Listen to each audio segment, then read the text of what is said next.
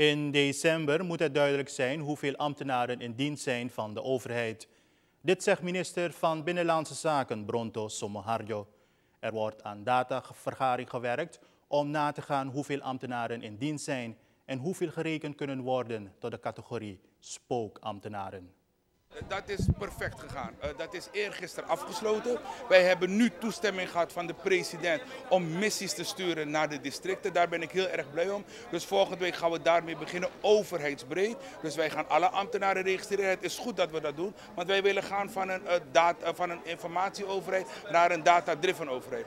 Dus wij gaan ervoor zorgen dat we precies weten hoeveel ambtenaren erin zitten. En wij proberen de registratie landelijk midden december af te ronden. Zodat we een idee hebben. Zijn 50.000 ambtenaren? Zijn er 60.000 ambtenaren? Zijn er 70.000 ambtenaren? En wat kunnen we met die ambtenaren doen? Willen we bijvoorbeeld het ambtenarenapparaat efficiënter maken? Gaan we dan naar vervroegd pensioen? Het is geen gemakkelijke taak om binnen kort tijdbestek iedere ambtenaar in kaart te brengen. Door het ambtenarenbestand te reguleren zullen er meer mogelijkheden gecreëerd worden die kostenbesparend kunnen zijn voor land en volk. Ik ben voornemens om dat echt te doen. Ik gaf u net een idee. Wij kunnen, als wij de beslissing nemen om het ambtenarenapparaat efficiënt te maken, kunnen we bijvoorbeeld kijken naar mensen met verproefd pensioen sturen. Iedereen werkt om 35 jaar te krijgen. Maar stel je voor, je bent nu al uh, uh, 55 en je hebt pas 20 dienstjaren en wij als staat geven je die 35 jaar in één keer, dan lijkt het aantrekkelijk om, uh, uh, uh, om af te zwaaien. En dat is ook voordelig voor ons, want in één klap kunnen we dan 25% van het ambtenarenbestand efficiënter maken.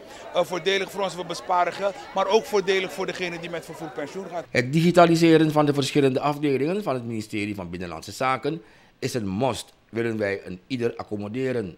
Het ligt nu aan de ambtenaren als ze willen meewerken aan het nieuw proces van registratie van de ambtenarij. Ieder krijgt een kans om zich te uiten binnen de organisatie. Alleen op BISA 2000 van die inactieve ambtenaren zijn tegengekomen. Maar ook dat is geen nood. Wij gaan die mensen ook een brief schrijven. We gaan ze zeggen, wil je werken? De president en de vicepresident hebben ons gezegd, als je wil werken, dan moet je werken. Dus we gaan een brief schrijven.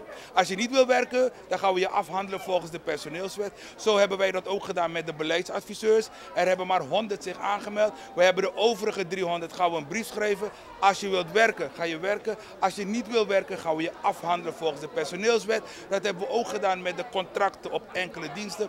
250 contracten stopgezet omdat er niet werd gewerkt. Dat heeft ons al 2 miljoen bespaard per maand. Dus in het kader van het stopzetten van verspilling van de staatsgelden vind ik dat we daar ook een mooie job hebben gedaan. En we gaan door.